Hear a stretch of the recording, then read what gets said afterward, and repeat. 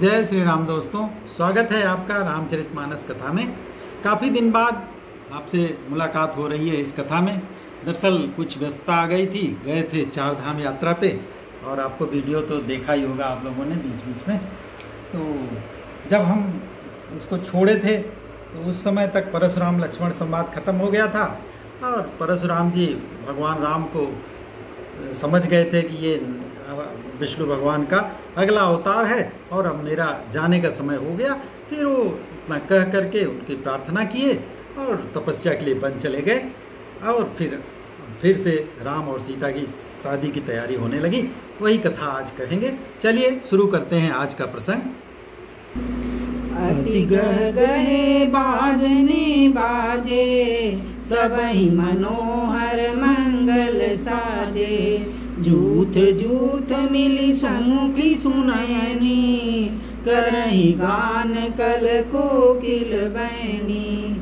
जब परशुराम जी चले गए, फिर जो कुटिल राजा भी थे, वो भी डर गए और सब ज़ोर ज़ोर से बाजे बजने लगे, शादी की तैयारी होने लगी। सभी ने मनोहर मंगल साज सजा दिया, सुंदर मुख और सुंदर नेत्रों वाली तथा कोयल के समान मधुर बोलने वाली स्त्रियाँ झुंड की झुंड मिल करके सुंदर सुंदर मधुर गान करने लगी। गाना गाने लगी। विवाह गीत होता है, वो सब गाना शुरू कर सुख विदेह कर बरनी न जाई। जन्म दरिद्र मनहु निधि पाई। विगत त्रास बैसिय सुखारी। जनु विदुदय चकोर कुमारी। और फिर जनक जी के सुख का तो वर्णन ही नहीं किया जा सकता। मानो कोई जन्म जन्म का दरिद्र हो, उसे धन का खजाना मिल गया। और सीता जी का भी डर खत्म हो गया। वे ऐसे खुश हो गई, जैसे कि चंद्रमा के उदय होने से चकोर की कन्या जो है, वो सुखी होती है। जनक की कहीं प्रणामा, प्रभु प्रसाद धनु भंज उरामा। कृत्य कीन दू भाई, अब जो उचित सो कहिए गोसाई। जनक जी ने फिर विश्वामित्र जी को प्रणाम किया और कहा, हे मुनिवर प्रभु, आपकी कृपा से श्री रामचंद्र जी ने धनुष तोड़ा है। दोनों भाइयों ने मुझे कृतार्थ कर दिया। हे स्वामी, अब जो उचित हो, आगे क्या करना है, वो बताइए, वो करें कर। मुनि सुन नर नाथ प्रवीणा, रहा विबाहु चाप अधीना। टूटत ही धनु भय विबाहु सुर नर नाग विदित सब काहू। मुनि विश्वामित्र ने कहा, हे चतुर नरेश, जनक, सुनिए, यो तो विवाह धनुष के ही अधीन था, क्योंकि स्वयंवर में यही शर्त थी कि जो धनुष तोड़ेगा, उससे विवाह होगा तो विवाह उसी के अधीन था, धनुष के टूटते ही विवाह हो गया। ये देवता, मनुष्य, नाग सब किसी को ये मालूम है, क्योंकि ये तो आपने पहले ही ऐलान कर रखा है। तदपि जाई तुम करहूँ अब जथा वंश व्यवहार। बूझी भी प्रकुल वृद्ध गुरु वेद विदित आचार। विवाह तो हो गया फिर भी तुम जाकर अपने कुल में जैसा व्यवहार होता है वैसा ही व्यवहार करो। ब्राह्मणों कुल के जो बूढ़े बुज़ुर्ग हैं और गुरुओं से पूछ करके और वेदों में भी जैसा वर्णन किया गया हो वैसा ही आचार व्यवहार अब करिए। दूत अवधपुर पठमहु जाई आनहि नृप दशरथहि बुलाई। मुदित राउ कहीं भलहि कृपाला पठे दूत बोली तेहि काला। विश्वामित्र जी ने कहा कि पूछ लो, जैसा भी करना है, सबसे गुरु वगैरह से पूछ के करिए। और सबसे पहले तो अयोध्या में दूध भेज दीजिए, जो कि राजा दशरथ को यहाँ बुला लावे। फिर राजा जनक प्रसन्न होकर बोले, हे कृपाल मुनि, बहुत अच्छा बहुत अच्छा। और तुरंत ही उन्होंने अपने दूतों को बुला के पहले सबसे पहला काम अयोध्या भेज दिया। बहुरी महाजन सकल बुलाए, आई सब निसादर सिर नाए। हाट बाट मंदिर सुर बासा, नगर चारियों पासा। फिर दूतों को भेज दिया। इसके बाद उन्होंने महाजनों को बुलाया और सबने आकर राजा को, जनक को आदरपूर्वक सिर झुकाए। राजा ने कहा, जहाँ बाज़ार, रास्ते, घर, देवालय, मंदिर, सारे नगर में चारों ओर से नगर को एकदम सजा दो। हरसि चले निज निज गृह आए पुनि परिचारक बोली पठाए। रचऊ विचित्र बितान बनाई, सिर धरी वचन चले सचुपाई। फिर महाजन प्रसन्न होकर चल पड़े, अपने अपने घर आए, और इसके बाद राजा ने सभी नौकरों को बुलाया और उन्हें आज्ञा दी कि जो ये मंडप है, इसको एकदम विचित्र अच्छे ढंग से अनोखे ढंग से सजा के तैयार कर दो। ये सुनकर वे सब भी राजा के वचन सिर रख करके सुख पा करके खुश होकर के चल पड़े। पठे बोली गुणी तीन गाना जे बितान विधि कुशल सुजाना। विधि बंदी तीन कीन अरंभा बिरचे कनक कदली के खंबा उन्होंने अनेक कारीगरों को बुला भेजा, जो कि मंडप बचा, बनाने में कुशल और चतुर थे। और उन्होंने ब्रह्मा की वंदना करके के जो मंडप बनाने वाले कारीगर थे पहले ब्रह्मा की वंदना किए और अपना कार्य आरंभ कर दिए। और जो सबसे पहले सोने के केले के खंभे बनाए, क्योंकि शुभ माना जाता है केले के खम्भों को, उसको बनाया और आगे क्या किया? हरित मणि के पत्र फल पदुम राग के फूल रचना देखी विचित्र अति मनु बिरंजी कर भूल उन्होंने फिर क्या किया? हरे हरे मणियों के पन्ने के पत्ते और फल बनाए, तथा पद्मराग मणियों, जो माणिक होता है, उसके फूल बनाए। मंडप की अत्यंत विचित्र रचना हो गई। उसे देख करके ब्रह्मा का भी मन भी भूल गया कि मेरा ही ये रचा हुआ संसार है या कुछ और। बेनु हरित मणिमय सब कीने, सरल सपरब पर नहीं चीने। कनक कलित ही बेली बनाई, लखी नहीं पर सपरन सुहाई फिर उन्होंने बाँस की जो हरी हरी मड़ियों पन्ने के सीधे और गांठों से युक्त झाला टाइप ऐसा बनाया कि वो पहचाने नहीं जाते कि ये मणि के हैं कि साधारण हैं। सोने की फिर सुंदर सुंदर नाग बेली पान की लता बनाई और पत्तों सहित ऐसी भलो मालूम होती थी पहचानी नहीं जाती थी कि ये सोने की है या एक सामान्य है। के रची पची बंध बनाए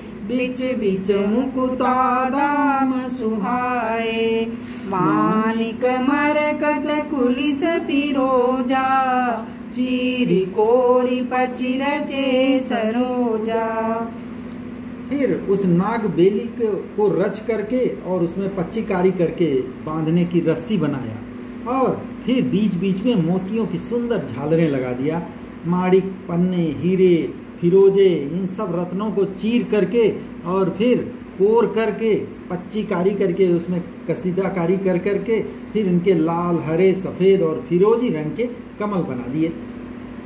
किए भृंग बहुरंग विहंगा गुंजई कुंजई पवन प्रसंगा सुर प्रतिमा खम्भन काली मंगल द्रव्य लिए सब ठाड़ी। फिर भौरे और बहुत रंग के पक्षी बना दिए, जो हवा के सहारे गूंजते और कूजते थे। इस तरह से रचना किया और फिर खम्भों पर देवताओं की मूर्तियाँ इतनी सुंदर गढ़ के बना दी कि ऐसा लग रहा है कि जैसे वो मंगल द्रव्य लिए हुए सचमुच खड़ी थी। चौके भांति अनेक पुराई सिंदूर मणिमय सहज सुहाई। फिर जो गज मुक्ताओं के सहज ही सुंदर अनेकों तरह के चौके बना दिए, चौक पूरते हैं। आटे से भी पूरा जाता है, लेकिन और भी गज मुक्ताओं से अगर बना दिया जाए तो ज़्यादा सुंदर लगता है। इस तरह से पूरा सजाया गया। सौरभ पल्लव सुभग सुटी, किए नील मणि को हेम बौर मरकत गवरी, लसत पाट मैं डोर। फिर नीलमणि को कोर करके अत्यंत सुंदर आम के पत्ते बनाए, सोने के बौर बनाए। आम का जो बौर लगता है, फूल शुरू शुरू में आता है, वो सोने का बनाया और रेशम की डोरी से बंधे हुए पन्नों के बने फूलों के गुच्छे उसमें सुशोभित कर दिया। रचे रुचिर बर बंद निवारे मनहु मनोभव फंद समारे।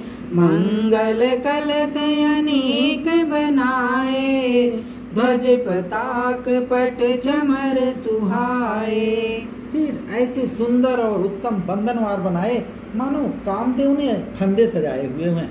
अनेकों मंगल कलश सुंदर ध्वजा पताका पर्दे और चंवर भी बना करके उसको मंडप को सजाया गया। दीप मनोहर मणिमय नाना जाइन बरनि विचित्र बिताना। जय मंडप दुलहिन देही सोबर नय असीमति कवि के ही। फिर उन जो ध्वजा पताका और सब बनाए थे, उसमें मड़ियों के अनेक सुंदर सुंदर दीपक बनाए गए और उस विचित्र मंडप का वर्णन ही नहीं किया जा सकता। और फिर जिस मंडप में जानकी जी दुल्हन के रूप में बैठेंगी, उस मंडप मंडप की तो कोई कवि की ऐसी बुद्धि ही नहीं है जो कि वर्णन कर सके। वो वर्णन से वर्ण बहुत दूर है। दुलहु राम रूप गुण सागर जो बितानु लोक उजागर जनक भवन कै शोभा जैसी गृह गृह प्रतिपुर देखिए तैसी और जिस मंडप में रूप और गुणों के समुद्र भगवान श्री रामचंद्र जी दूल्हे बन के बैठेंगे, वह मंडप तीनों लोकों में प्रसिद्ध होना ही चाहिए। जनक जी के महल की जैसी शोभा है वैसी ही शोभा नगर के प्रत्येक घर की दिखाई दे रही है। इस तरह से पूरे नगर को सजाया गया। जय तेरहुति ते समय निहारी। ते लघु लगही भुवन दस चारी जो संपदा नीच गृह सोहा सो बिलो किशोर नायक मोहा। उस समय जिसने भी उस तिरहुत को देखा, उस नगर को देखा, उस सजावट को देखा, उसे, उसके सामने चौदहों भवन, चौदहों भुवन तुच्छ जान पड़ रहे थे। जनकपुर में, नीच के भी घर में, वो सबसे जो गरीब व्यक्ति था, उसके भी घर में जो संपदा सुशोभित हो रही थी, उसे देखकर इंद्र भी मोहित हो जा रहे थे। बसई नगर जई लक्षी करी, कपट नारी बर तई पुर कै शोभा कहत सकु चही सारद जिस नगर में साक्षात लक्ष्मी जी स्त्री का सुंदर वेश बना के बस रही हैं, सीता जी लक्ष्मी जी की अवतार थी तो उस पुर की, उस नगर की शोभा का वर्णन करने में सरस्वती और शेष भी सक चाहते हैं। वो शोभा का वर्णन कैसे किया जा सकता है?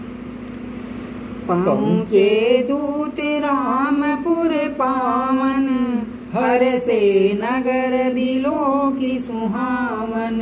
भूप द्वार तीन खबरी जनाई दशरथ नृप सुन लिए बुलाई।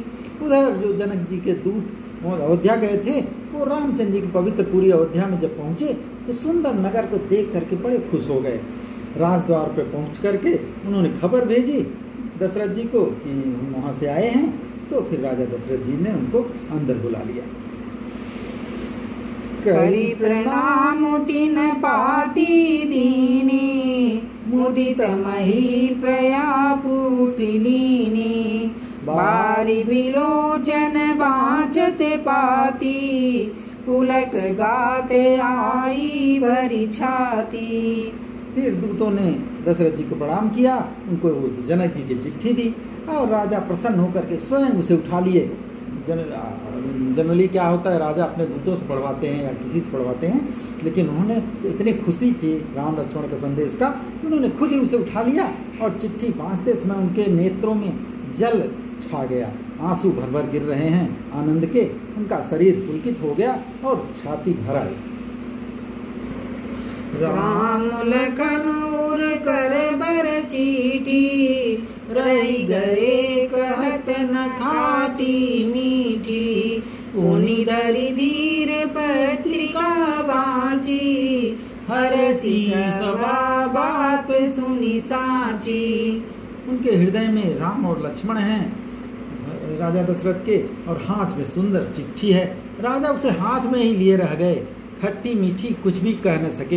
इतने प्रसन्न हो गए, पुलकित हो गए। फिर फिर उन्होंने धैर्य धर के उस पत्रिका को पढ़ा और सारी सभा सच्ची बात सुनकर के हर्षित हो गई कि रामचंद्र जी ने धनुष तोड़ा है, सीता जी से विवाह होगा, सारे दरबार जो है खुश हो गए। खेलत रहे तहाँ सुधि पाई। पाए भरत सहित हित भाई पूछत यति स्नेह सकुचाई। तात कहाँ ते पाती आई। उस समय भरत अपने मित्रों और भाई शत्रुघ्न के साथ कहीं खेल रहे थे। जैसे ही समाचार मिला कि कुछ आई है चिट्ठी पत्री, फट से भाग करके आए। और बड़े प्रेम से सकुचाते हुए पिताजी से पूछे पिताजी चिट्ठी कहाँ से आई है? कुशल प्राण प्रिय बंधु दो आई कहूँ के ही दे सुनि साने बचन बाजी बहुरी नरेश। भरत ने कहा, हमारे प्राणों से प्यारे दोनों भाई राम लक्ष्मण, सकुशल तो हैं, कुशल से तो हैं, वो किस देश में हैं? स्नेह से ये वचन सुन करके राजा ने फिर से चिट्ठी पढ़ी और जैसे ही उन्होंने भी सुना, अरे, ये तो रामचंद्र जी का विवाह होने वाला है, सीता से वो लोग भी खुश हो गए। और आगे क्या होता है, कैसे तैयारी होती है जनकपुर जाने की, वो हम करेंगे अगले भाग में। आज के लिए बस इतना ही। तब तक प्रेम से बोलिए श्यावर रामचंद्र की जय। मापति महादेव की जय। राधावर कृष्ण चंद्र की